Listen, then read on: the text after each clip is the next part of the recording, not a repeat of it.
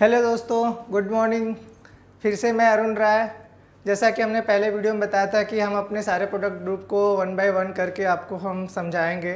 सो so, हमने decide किया कि सबसे पहले group P G one group में हम आपको अपने साइड चैनल ब्लोअर के बारे में बता रहे हैं। यहाँ पे स्टार्ट कर रहे हैं इसकी कैटेगरी क्या होती है इसका कनेक्शन कैसे होते हैं इनपुट पावर क्या होती है उसके बारे में आज डिस्कस करेंगे हम पहले वीडियो में।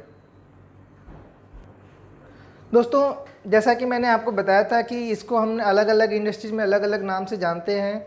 हम इसको side channel blower regenerative blower ring blower जानते हैं। मैं इसको वन बाय वन करके इसी कैटेगरी आपको बताऊँगा। साथ में इसकी एप्लीकेशन हम नेक्स्ट वीडियो में बताएँगे। बट इनिशियली आपको इसकी अवेयरनेस के लिए कैटेगरी मैं आपको डिफाइन कर रहा हूँ।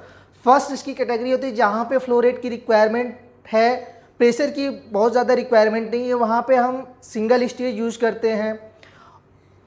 और जहाँ पे हमें फ्लो के साथ साथ प्रेशर की रिक्वायरमेंट है, वहाँ पे हमने डुअल स्टेज डुअल स्टेज का मतलब दो इम्पैलर सिंगल स्टेज का मतलब एक इम्पैलर तो जहाँ पे हमें फ्लो रेट की रिक्वायरमेंट ज़्यादा है प्रेशर की रिक्वायरमेंट कम है, वहाँ पे हम सिंगल स्टेज यूज़ करेंगे. जहाँ पे हमें फ्लो के साथ साथ प्रेशर की भी रिक्वायरमेंट है, वहाँ पे हम डुअल स्टेज यूज़ करेंगे. अब हम बात करते हैं next category of side channel blower जो कि डिपेंड करती है इनपुट पावर इनपुट पावर, जैसे कि हमने डोमेस्टिक और इंडस्ट्रियल दोनों में यूज़ करते हैं तो डोमेस्टिक के लिए हमने जो यूज़ करते हैं, वो सिंगल फ़ेज़ यूज़ करते हैं और इंडस्ट्रियल के लिए जो यूज़ करते हैं, वो हम थ्री फ़ेज़ यूज़ करते हैं।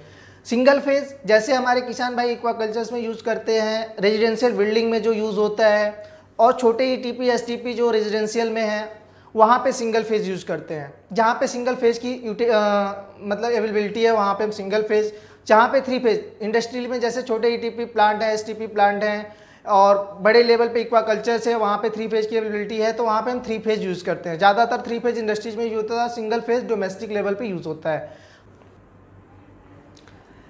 तो हमने अभी बात किया सिंगल फ़ेज़ और थ्री फ़ेज़ सिंगल फ़ेज़ को पहचानने का बहुत ही आसान तरीका होता है। अगर हम कुछ भी नहीं जानते हैं तो सिंगल, सिंपल सी बात है कि अगर जिस जिस भी टर्मिनल बॉक्स के साइड में अगर कैपेसिटर लगा हुआ है तो ये करता है कि आपका ये सिंगल फ़ेज़ है। सिंगल फ़ेज़ कैपेसिटर अगर आपके अगर आपके सीलिंग फ़ैन भी देखोगे तो वहाँ पे कैपेसिटर लगा होता है। तो सिंगल फ़ेज़ की में हम जो भी सिंगल फ़ेज़ मोटर होती है, उसमें कैपेसिटर होता है। और ये आइडेंटिफिकेशन करने के लिए पहला होता है कि आप सिंगल फ़ेज़ यहाँ से आइडेंटिफाई कर सकते हो।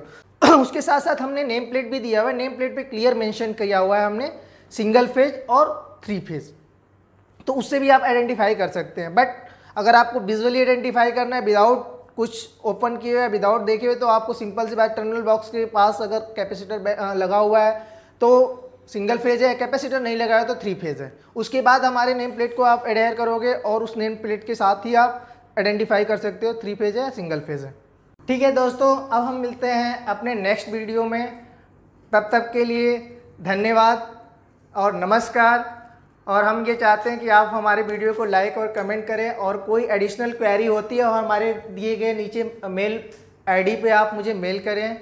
मुझे बहुत खुशी होगी आपके क्वेरी को रिजॉल्व करने में और आपके क्वेरी को डिटेल करने में।